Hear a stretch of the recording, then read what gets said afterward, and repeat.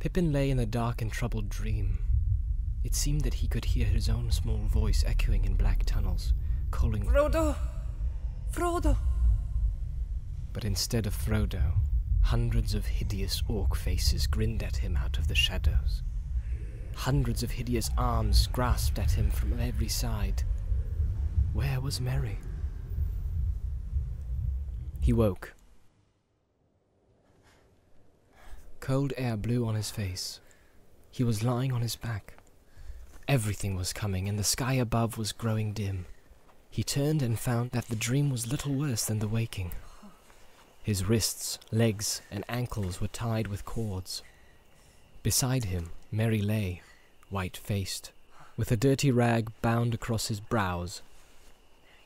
All about them sat or stood a great company of orcs. Slowly in Pippin's aching head, memory pieced itself together and became separated from dream shadows. Of course, he and Merry had run off into the woods. What had come over them? Why had they dashed off like that, taking no notice of old Strider? They had run a long way shouting. He could not remember how far or how long, and then suddenly they had crashed right into a group of orcs. They were standing, listening, and they did not appear to see Merry and Pippin until they were almost in their arms. Then they yelled, and dozens of other goblins had sprung out of the trees. Merry and he had drawn their swords, but the orcs did not wish to fight, and had tried only to lay hold of them, even when Merry had cut off several of their arms and hands. Good old Merry. Then Boromir had come leaping through the trees. He had made them fight. He slew many of them, and the rest fled. But they had not gone far on the way back when they were attacked again. By a hundred orcs at least, some of them very large, and they shot a rain of arrows, always at Boromir. Boromir had blown his great horn till the woods rang, and at first the orcs had been dismayed and had drawn back, but when no answer but the echoes came, they had attacked more fiercely than ever. Pippin did not remember much more.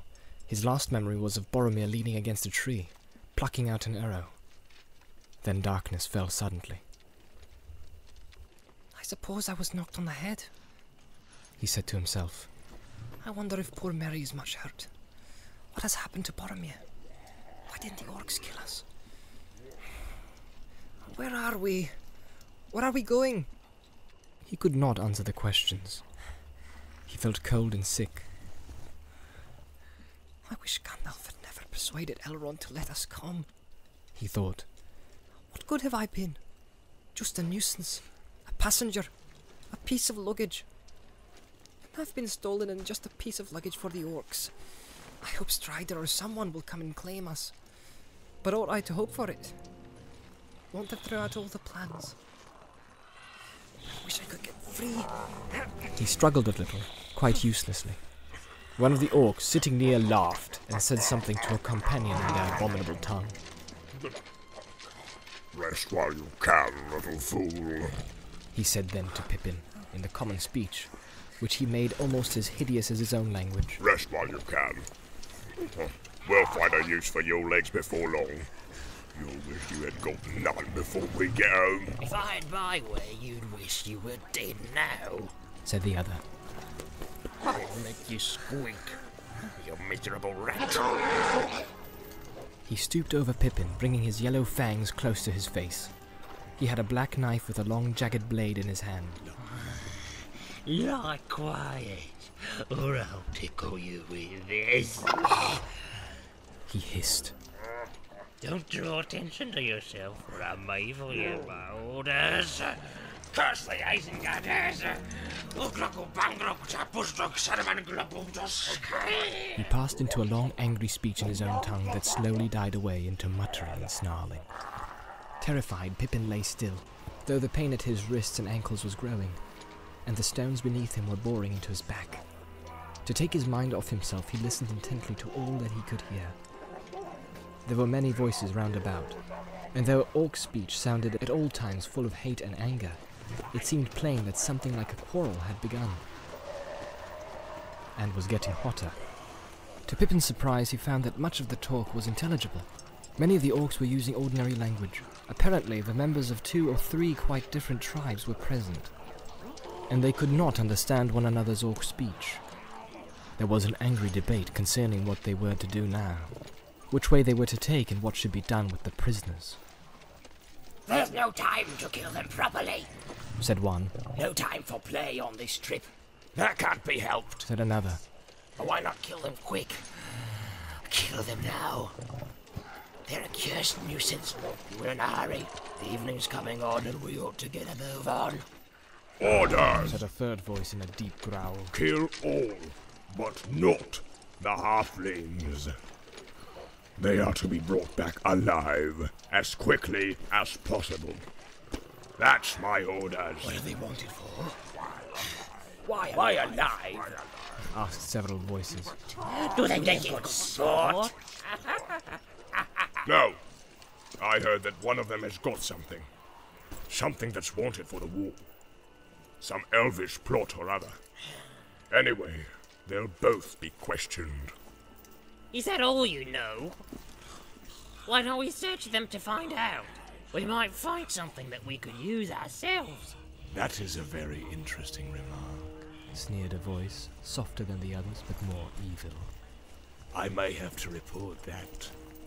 The prisoners are not to be searched or plundered. Those are my orders. And mine too. said the deep voice. Alive as captured. No spoiling. That's my orders.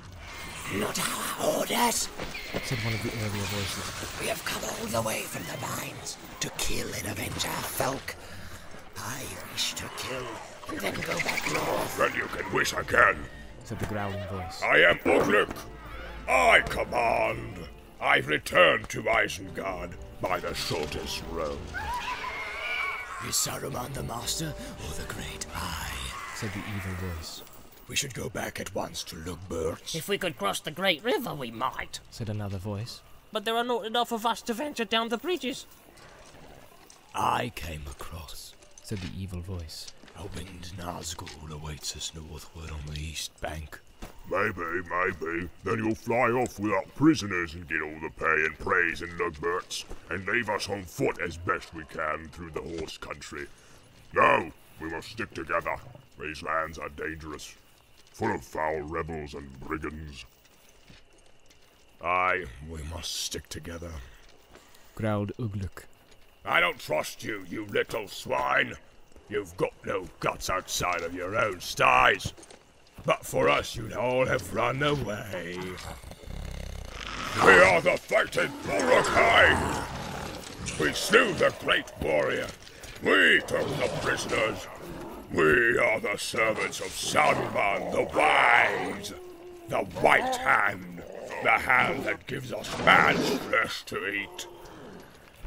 We came out of Isengard and led you here. And we shall lead you back by the way we choose. I am Ugluk. I have spoken.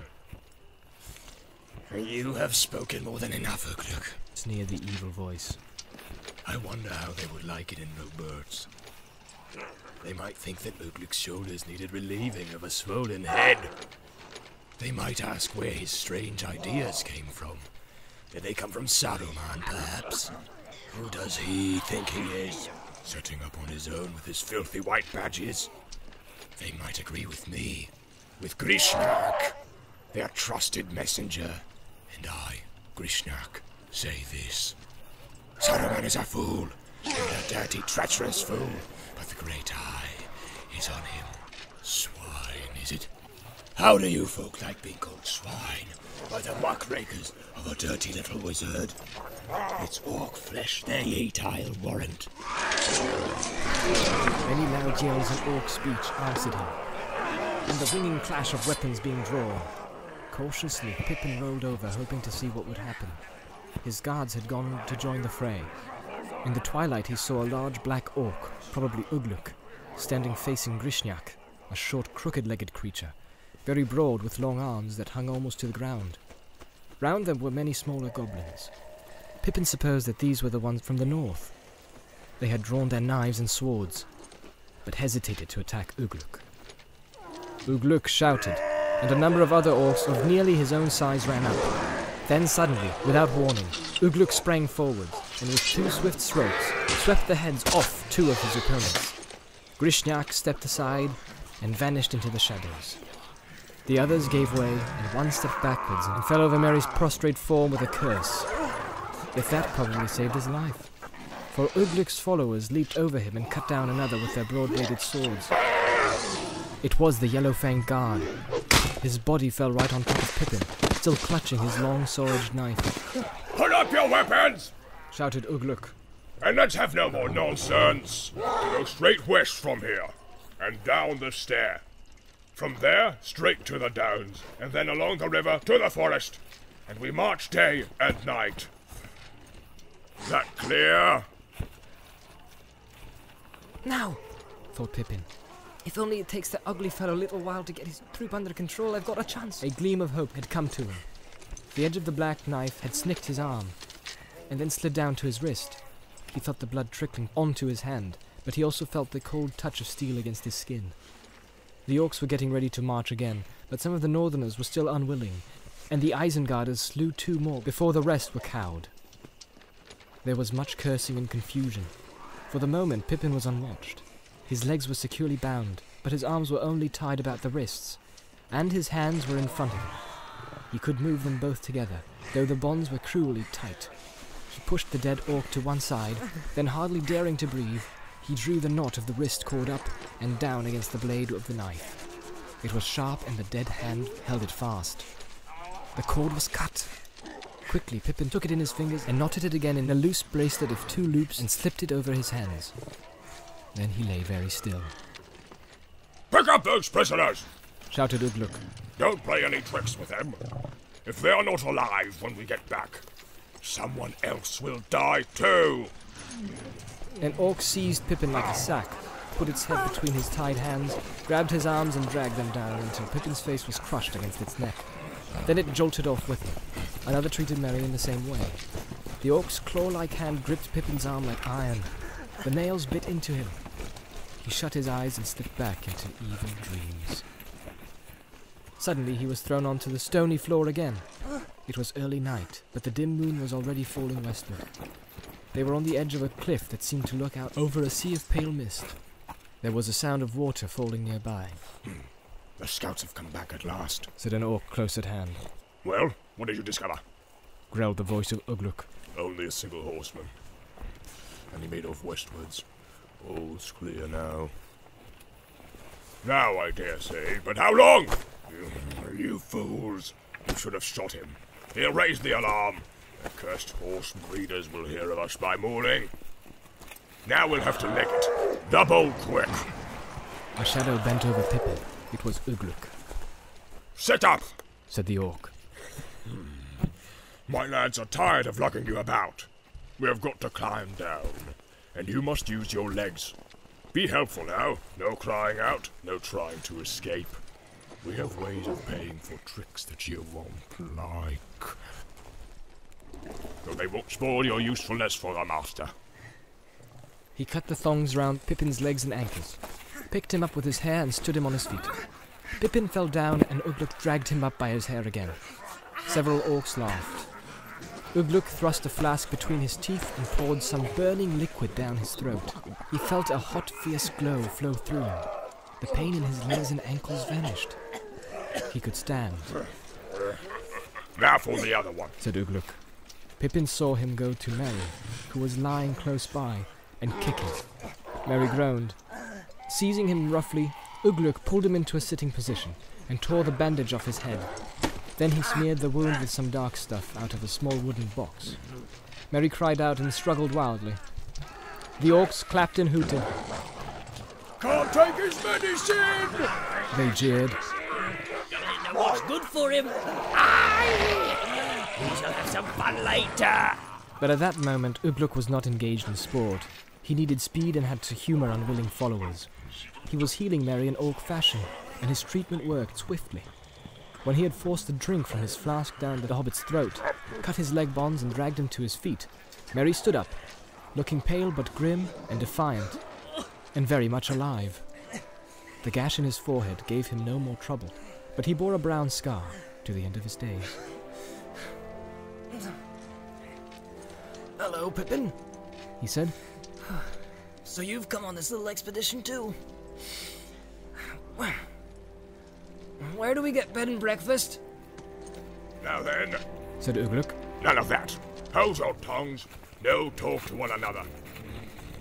Any trouble will be reported at the other end, and he'll know how to pay you. You'll get bed and breakfast, all right. More than you can stomach. The orc band began to descend a narrow ravine, leading down into the misty plain below. Merry and Pippin, separated by a dozen orcs or more, climbed down with them. At the bottom they stepped onto grass, and the hearts of the hobbits rose. Now, straight on! Shouted Ugluk. West and a little north. Follow Lugdush. What are we going to do with sunrise? Said some of the Northerns. Go on running. Said Ugluk. What do you think? Sit on the grass and wait for the Whiteskins to join the picnic. But we can't run in the sunlight. Hmm. You'll run with me behind you. Said Ugluk. Run!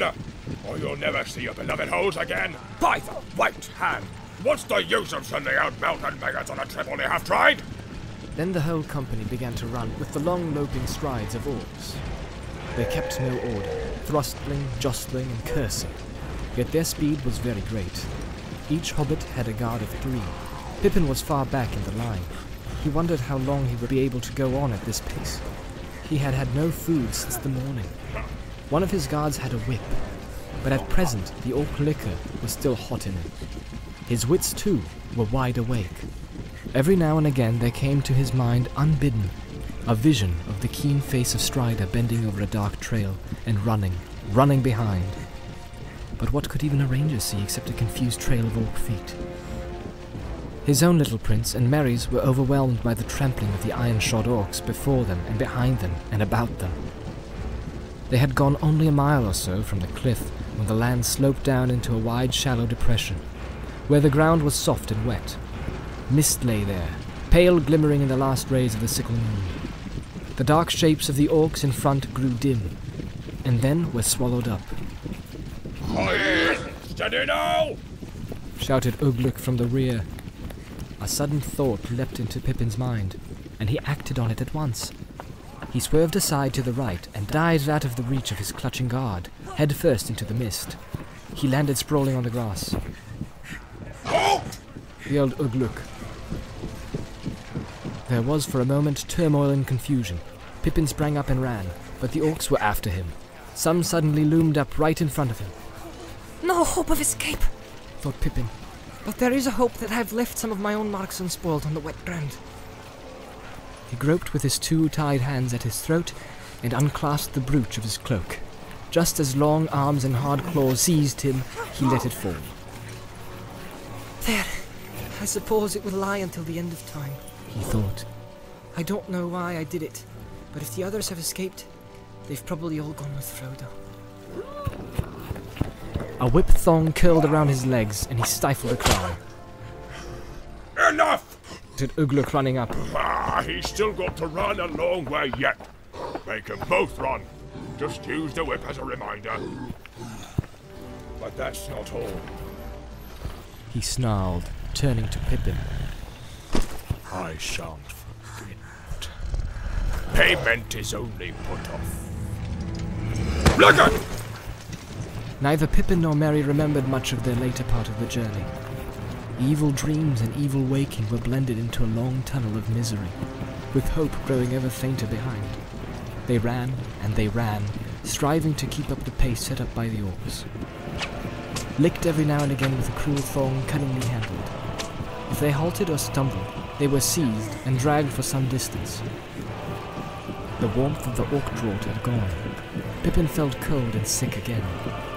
Suddenly he fell face downward on the turf. Hard hands with thrending nails gripped him and lifted him. He was carried like a sack once more, and darkness grew about him. Whether the darkness of another night or a blindness of his eyes, he could not tell. Dimly he became aware of voices, clamouring. It seemed that many of the orcs were demanding a halt. Ugluk was shouting. And he felt himself flung to the ground, and he lay as he fell, till black dreams took him. But he did not long escape from pain. Soon the iron grip of merciless hands was on him again. For a long time he was tossed and shaken, and then slowly the darkness gave way, and he came back to the waking world, and found that it was morning. Orders were shouted, and he was thrown roughly on the grass. There he lay for a while, fighting with despair. His head swam, but from the heat in his body he guessed that he had been given another draught. An orc stooped over him and flung him some bread and a strip of raw dried flesh. He ate the stale grey bread hungrily, but not the meat. He was famished, but not yet so famished as to eat flesh flung from him by an orc. The flesh of he dared not guess what creature. He sat up and looked about. Merry was not far away. They were by the banks of a swift narrow river. Ahead mountains loomed. A tall peak was catching the first rays of the sun. A dark smudge of the forest lay on the lower slopes before them. There was much shouting and debating among the orcs. A quarrel seemed on the point of breaking out again between the northerners and the Isengarders. Some were pointing back away south, and some were pointing eastward. Very well. Said Ugluk, Leave them to me. No killing, as I've told you before. But if you want to throw away what we've come all the way to get, throw it away. I'll look after it. Let the fighting Uruk-hai do the work, as usual. If you're afraid of the Whiteskins, run! Run! There's the forest! he shouted, pointing ahead. Get to it! It's your best hope. Off you go, and quick, before I knock a few more heads off, to put some sense into the others! There was some cursing and scuffling, and then most of the northerners broke away and dashed off. Over a hundred of them, running wildly along the river towards the mountains. The hobbits were left with the Isengarders, a grim, dark band. Four score at least of large, swart, slant-eyed orcs, with great bows and short, broad-bladed swords. A few of the larger and bolder northerners remained with them. Now, uh, we'll deal with Grishnakh. said Ugluk. But some of his own followers were looking uneasily southwards, I know. growled Ugluk. The cursed horse boys have gone wind of us. But that's all your fault, Slugger. You and the other scouts ought to have your ears cut off. But we are the fighters. We'll feast on horse flesh yet. Or something better.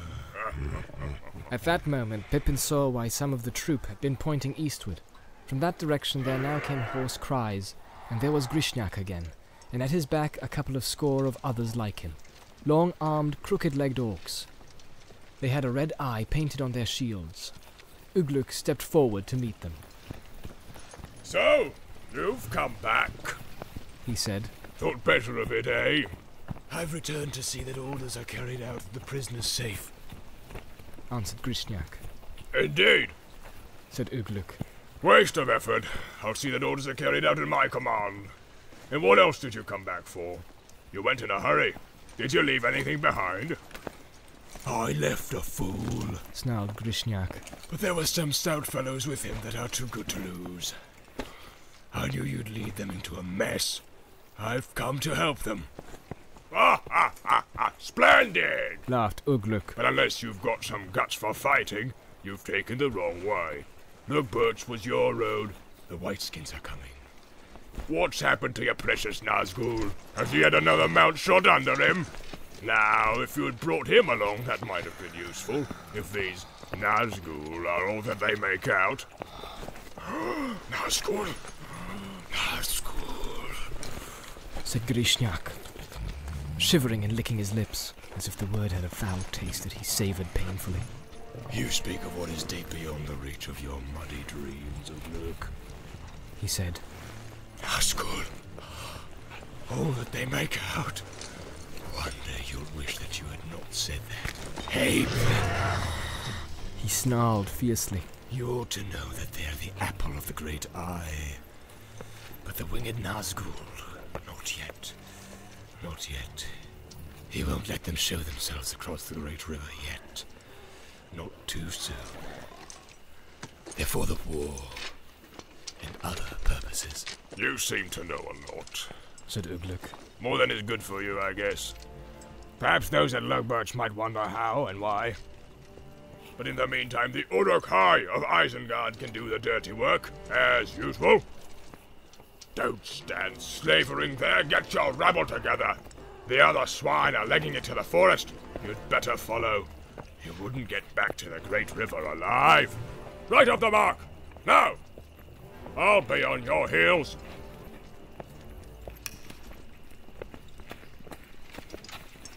The Isengarders seized Merry and Pippin again and slung them on their backs.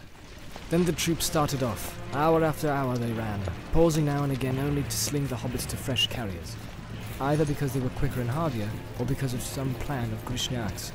The Isengarders gradually passed through the orcs of Mordor, and Grishnakh's folk closed in behind. Soon they were gaining also on the northerners ahead. The forest began to draw nearer. Pippin was bruised and torn, his aching head was grated by the filthy jowl in the hairy ear of the orc that held him. Immediately in front were bowed backs and tough, thick legs going up and down, up and down, unresting, as if they were made of wire and horn, beating out the nightmare seconds of an endless time. In the afternoon, Ugluk's troop overtook the northerners. They were flagging in the rays of the bright sun, winter sun shining in a pale, cool sky though it was. Their heads were down and their tongues lolling out. Jeered the Isengarders. You're cooked. The will catch you and eat you. They're coming. A cry from Grishnakh showed that this was not mere jest. Horsemen riding very swiftly had indeed been sighted, still far behind but gaining on the orcs, gaining on them like a tide over the flats on folk straying in a quicksand. The Isengarders began to run with a redoubled pace that astonished Pippin. A terrific spurt it seemed for the end of a race. Then he saw that the sun was sinking, falling behind the misty mountains. Shadows reached over the land. The soldiers of Mordor lifted their heads and also began to put on speed. The forest was dark and close. Already they had passed a few outlying trees. The land was beginning to slope upwards, ever more steeply. But the orcs did not halt. Both Ugluk and Grishnakh shouted, spurring them on to a last effort. They will make it yet. He will escape. thought Pippin. And then he managed to twist his neck so as to glance back with one eye over his shoulder. He saw that riders away eastward were already level with the orcs, galloping over the plain. The sunset gilded their spears and helmets and glinted in their pale flowing hair. They were hemming the orcs in preventing them from scattering and driving them along the line of the river. He wondered very much what kind of folk they were. He wished now that he had learned more in Rivendell and looked more at maps and things. But in those days, the plans of their journey seemed to be in more competent hands, and he had never reckoned with being cut off from Gandalf, or from Strider, and even from Frodo. All that he could remember about Rohan was that Gandalf's horse, Shadowfax, had come from that land. That sounded hopeful as far as it went, But how will they know that we are not orcs? he thought. I don't suppose we've ever heard of hobbits down here. I suppose I ought to be glad that the beastly orcs look like being destroyed. I would rather be saved myself. The chances were that he and Merry would be killed together with their captors before ever the men of Rohan were aware of them. A few of the riders appeared to be bowmen, skilled at shooting from a running horse. Riding swiftly into range, they shot arrows at the orcs that straggled behind, and several of them fell.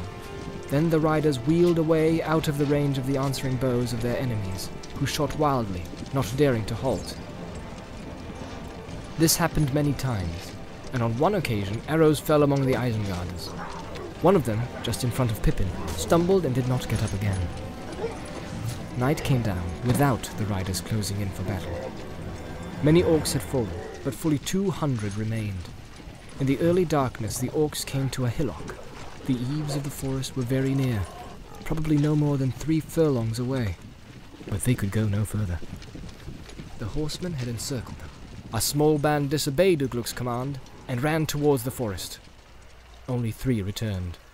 Well, here we are. Sneered Grishnakh.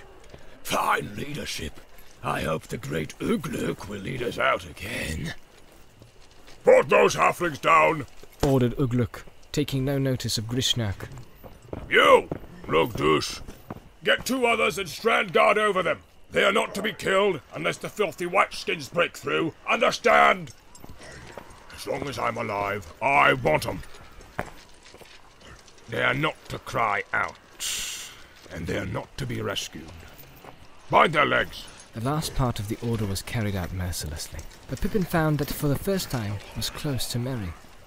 The orcs were making a great deal of noise, shouting and clashing their weapons, and the hobbits managed to whisper together for a while. I don't think much of this. Said Merry. I feel nearly done in. I don't think I could crawl away far, even if I was free. Lembas, Whispered Pippin. I've got some. Have you? I don't think they've taken anything but our swords. Yes, I had a packet in my pocket, Answered Merry. but it must be better to crumbs. Anyway, I can't put my mouth in my pocket. You won't have to. I've. Ah! But just then a savage kick warned Pippin that the noise had died down and the guards were watching. The night was cold and still. All around the knoll on which the orcs were gathered, little watchfires sprang up, golden red in the darkness, a complete ring of them. They were within long bowshot, but the riders did not show themselves against the light, and the orcs wasted many arrows shooting at the fires until Ugluk stopped them. The riders made no sound. Later in the night, when the moon came out of the mist, then occasionally they could be seen, shadowy shapes that glinted now and again in the white light, as they moved in ceaseless patrol. They'll wait for the sun. Curse them! Growled one of the guards. Why don't we get together and charge through? What's old Ugluk think he's doing, I should like to know? I dare say you would. Snarled Ugluk, stepping up from behind. Meaning I don't think at all, eh? Curse you! You're as bad as the other rabble. The maggots and the apes of the Lugburz. No good trying to charge with them. They'll just squeal and boat. And there are more than enough of these filthy horse boys to mop up our lot on the flat. There's only one thing those maggots can do. They can see like gimlets in the dark. Uh, but these whiteskins have better night eyes than most men, from what I've heard. And don't forget their horses. They can see the night breeze, or so it's said. Still, there's one thing the fine fellows don't know. Mauhur and his lads are in the forest, and they'll show up any time now. Ugluk's words were enough apparently to satisfy the Isengarders, but the other orcs were both dispirited and rebellious. They posted a few watchers, but most of them lay on the ground, resting in the pleasant darkness. It did indeed become very dark again, for the moon passed westward into thick cloud, and Pippin could not see anything a few feet away. The fires brought no light to the hillock. The riders were not, however, content merely to wait for the dawn and let their enemies rest. A sudden outcry on the east side of the knoll showed that something was wrong. It seemed that some of the men had ridden in close, slipped off their horses, crawled to the edge of the camp, and killed several orcs, and then had faded away again. Ugluk dashed off to stop a stampede. Pippin and Merry sat up. Their guards, Isengarders, had gone with Ugluk, but if the hobbits had any thought of escape, it was soon dashed. A long, hairy arm took each of them by the neck and drew them close together. Dimly they were aware of Grishnakh's great head and hideous face between them. His foul breath was on their cheeks. He began to paw them and feel them. Pippin shuddered as hard, cold fingers groped down his back. Well, my little ones, Said Grishnakh in a soft whisper. enjoying your nice rest, or not? Oh, a little awkwardly placed, perhaps. Some whips on one side and nasty spears on the other. Little people should not meddle in affairs that are too big for them. His fingers continued to grope.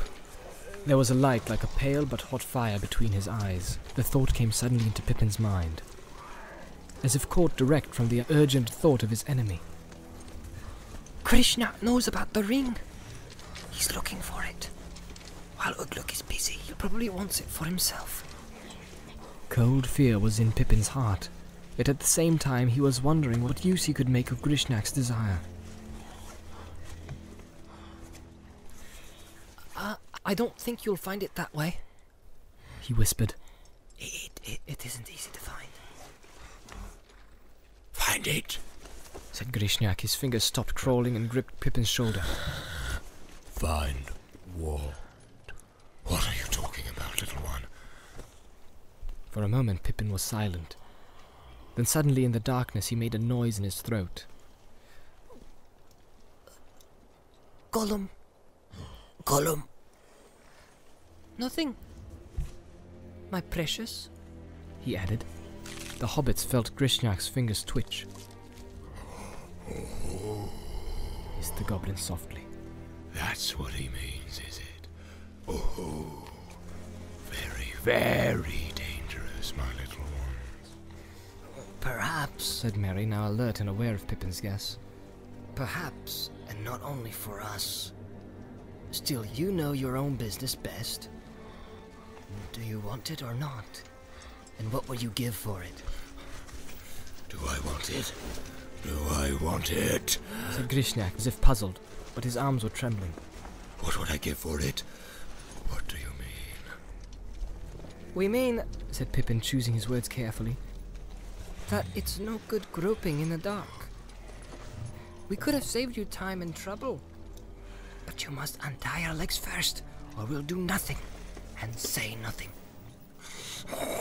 My dear tender little fools. hissed Grishnakh. Everything you have and everything you know will be got out of you in due time. Everything. You wish there was more that could tell to satisfy the questioner. Indeed you will. Quite soon. We shan't hurry the inquiry. Oh dear, no. What do you think you've been kept alive for, my dear little fellows? Please believe me when I say that it was not out of kindness, and not even one of Ugluk's faults. Oh, I find it quite easy to believe. said Merry. But you haven't got your prey home yet. And it doesn't seem to be going your way, whatever happens.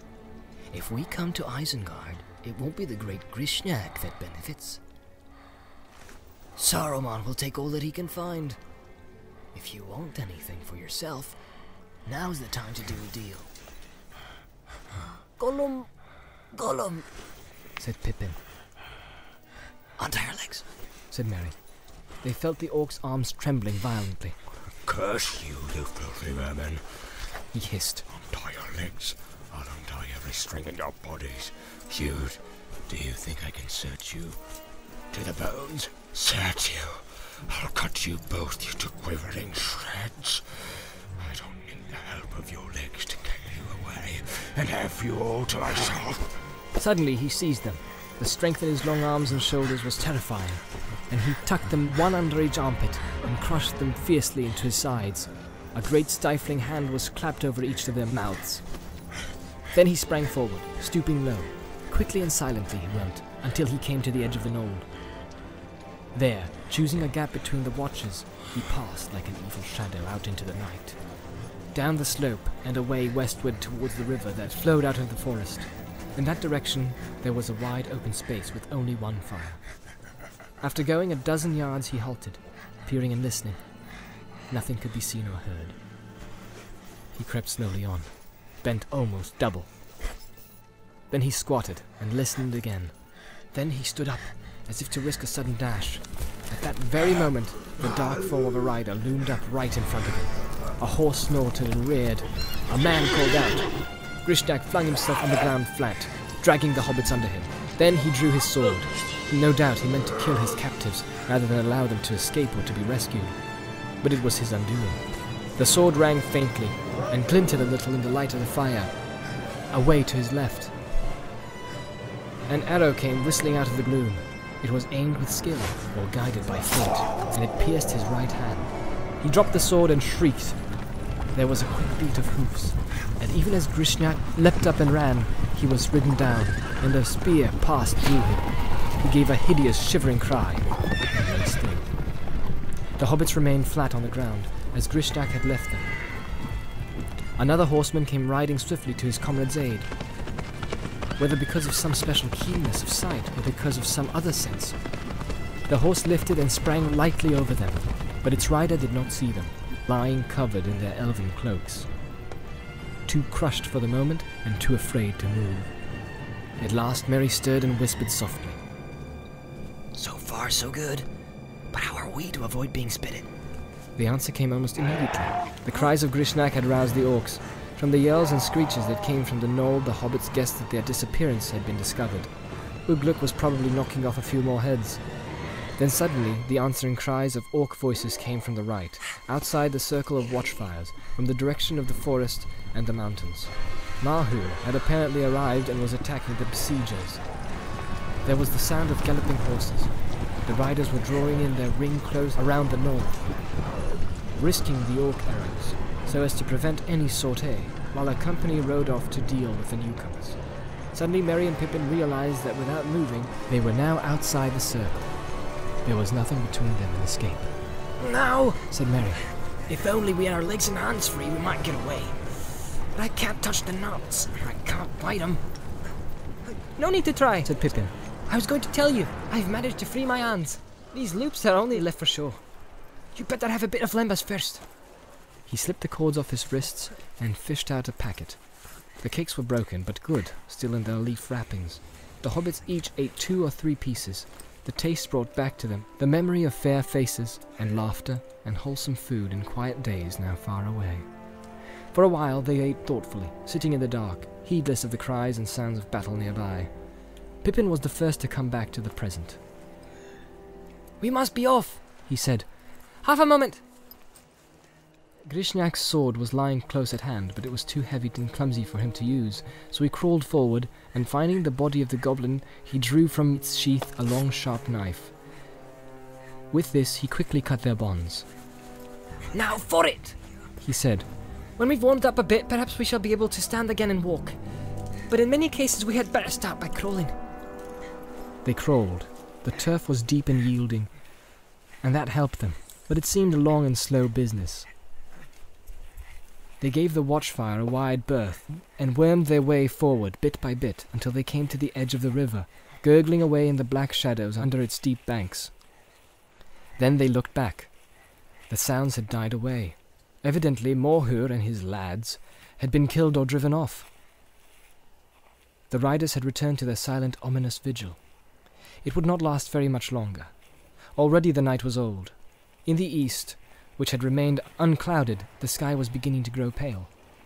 We must get under cover, Said Pippin. or we shall be seen.